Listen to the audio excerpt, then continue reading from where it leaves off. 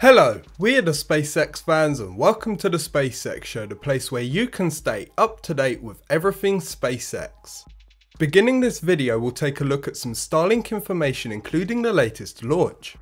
Then we have some more views of the latest infrastructure construction in Boca Chica, a load of starships including the SN6 150 meter hop and we even have SN10. So let's head straight in and get up to date. As mentioned, SpaceX launched the Starlink 11 batch of 60 satellites into space on Thursday to join the constellation. Zero. Ignition. And liftoff.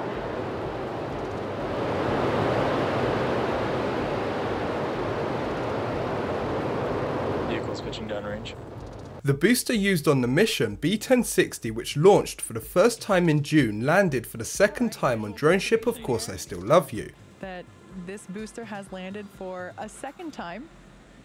Kyle Montgomery captured this great shot of GO Ms. Tree and GO Ms. Chief returning with fairings. At least they used to be, as you can see there are fairing parts in Ms. Tree's net. Ms. Chief's fairing also returned damaged. The company tweeted two bits of Starlink information saying, in initial tests of Starlink the team has been collecting latency data and performing standard speed tests of the system. Then they said results from these tests have shown super low latency and download speeds greater than 100 megabits per second, fast enough to stream multiple HD movies at once and still have bandwidth to spare. Jonathan McDowell also tweeted about another Starlink satellite that re-entered the atmosphere recently. He said Starlink 1040 which failed last December before it could be raised to operational orbit has re-entered. I believe it is the first Starlink to re-enter via natural orbital decay after a propulsion failure. On top of this, Jonathan McDowell has tweeted about another three Starlink satellites that re-entered on September 2nd, 4th and 5th. Moving on and over to Boca Chica, here we have the latest view of the launch mount construction. You can see another support structure has been put together.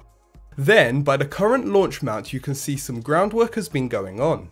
Over in the construction yard, the usual construction of the high bay is progressing nicely.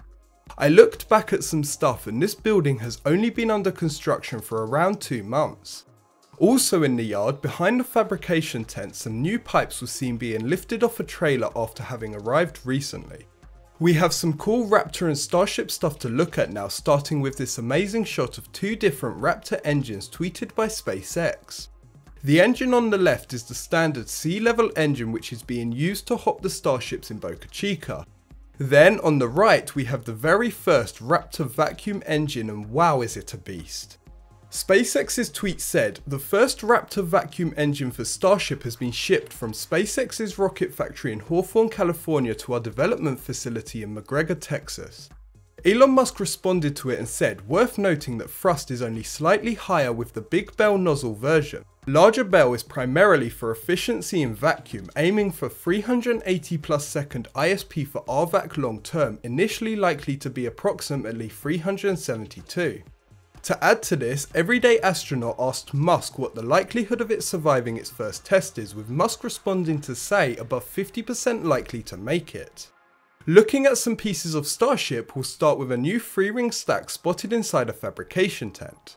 That build and those welds are looking much more improved over what we've seen before. We also have a view of what's over by the nose cone area. You can see that they currently have two reinforced 5 ring stacks as well as a tapered nose cone section. Then inside the tent is another new 3 ring stack. Now we can take a look at Starship serial number prototypes. You can see here we have SN5 still sitting outside. Inside the mid bay behind it is SN8 which was recently stacked and is being worked on. My guess as to what's next for this prototype will be testing. I'd say that before it gets everything else needed for flight, they might want to put it on a test stand. Talking about test stands, on Thursday just hours after the Starlink launch the road was closed, pad cleared and SN6 was getting fueled up for its 150 meter hop test. Then the Raptor engine SN29 fired up to lift SN6 off the launch mount.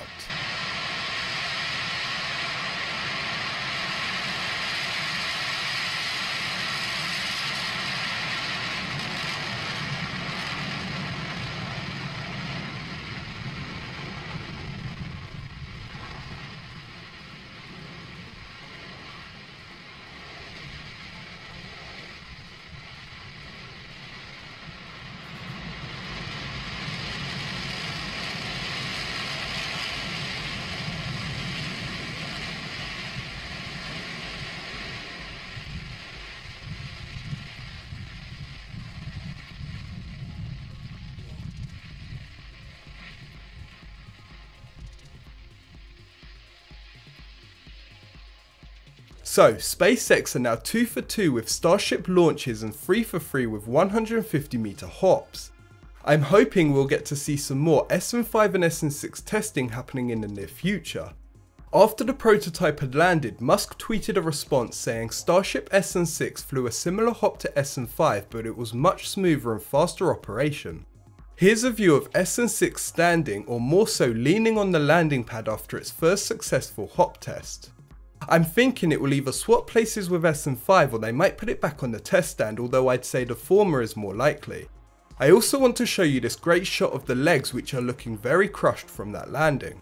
Looking at other Starship tanks in the works, here we have SN 7.1 which is being prepared for a pressure test soon. This test tank is looking near enough ready for testing which will probably see it destroyed as they test a variety of things with the integrity of the build and the materials.